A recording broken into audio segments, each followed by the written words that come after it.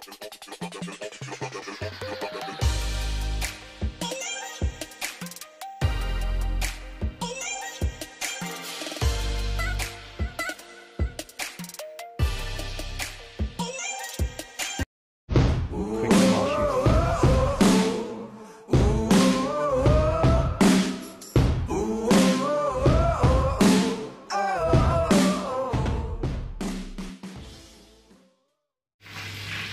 So, shout out, shout out mga kalods, no?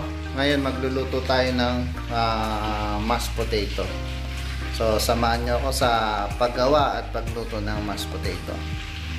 Uh, shout out nga pala kay uh, JC Igmao at sa lahat ng uh, aking uh, followers at viewers. Thank you so much. So, babalat tayo ng uh, patatas.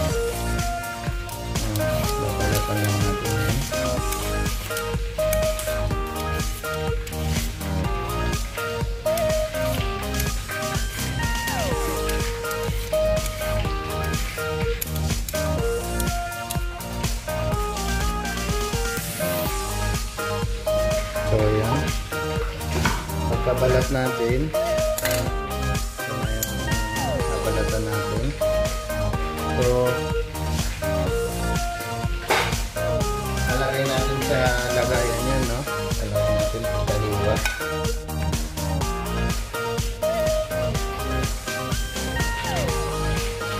So, iwaan na natin kahit apat na iwa dahil nagdurugin din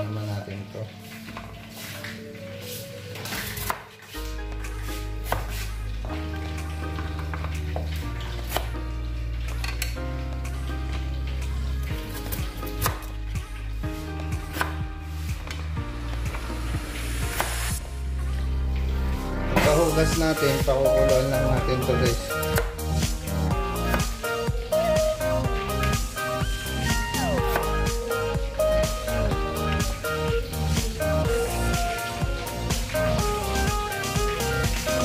So, ito yung ingredients natin, no?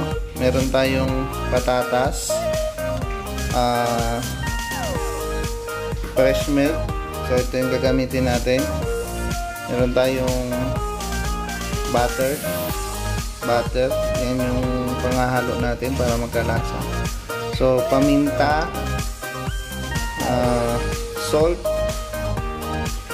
so, soy sauce, at saka itong cornstarch natin o flour so bago tubig so pakukuluan na natin to so pinakuluan natin yung patatas natin no? Titignan natin kung malambot na. Sinalang natin to 1045 so 1054 na. So matigas pa. Maya maya pa. Magbabalik. So after uh, 15 minutes medyo malambot na yung ano patatas natin so pwede na to. Para hindi naman masyadong loob. So mga 15 minutes lang. Saka medium. Dudurugin na natin to. So, tatapon lang natin yung pinagkuluan nito bago natin siya dudurugin. So, dudurug-durugin na natin, no? Wala tayong pang durog talaga eh. Yung pang potato talaga na So, gamit lang tayo ng kutsara. Ayan. So, depende sa inyo. So, pwede na rin natin sabay dito yung ano natin. So, lalagay tayo ng asin. Yan. Salt. Para may lasa. Tapos, lalagyan na rin natin ng uh, brown black pepper. So, depende sa inyo kung gaano karaming gusto nyong timpla. Tapos lalagyan na rin natin ng butter. Ng butter natin.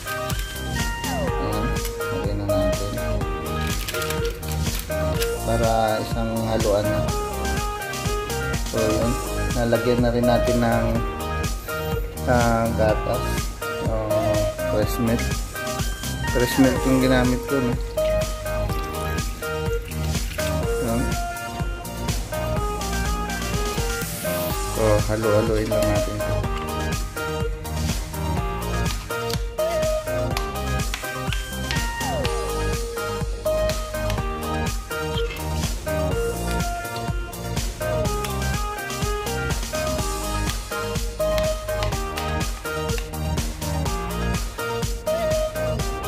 So, ayun na. Pagkatapos natin durugin. Dahil tinikman ko kulang ng alat.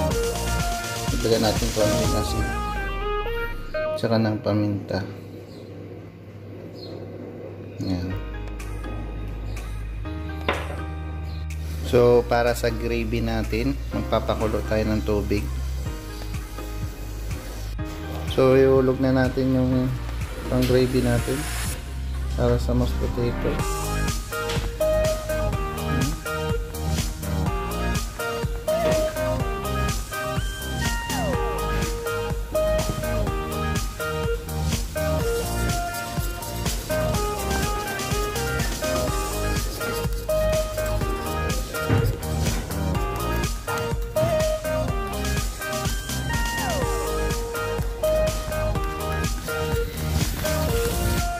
Lagyan natin konting toyo.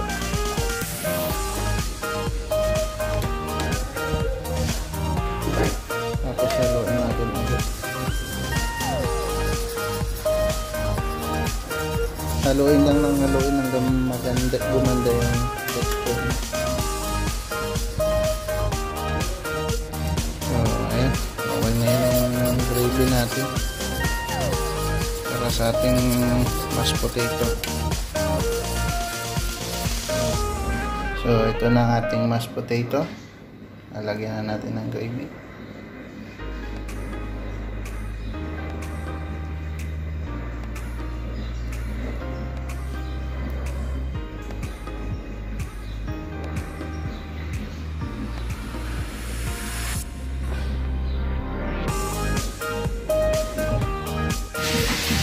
So, ito na yung mashed potato natin.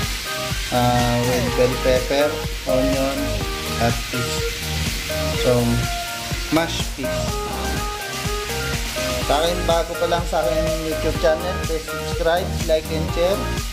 Pakipindot na rin ang notification button para lagi kang updated sa aking video. Salamat mga kadudes. Hanggang sa muli.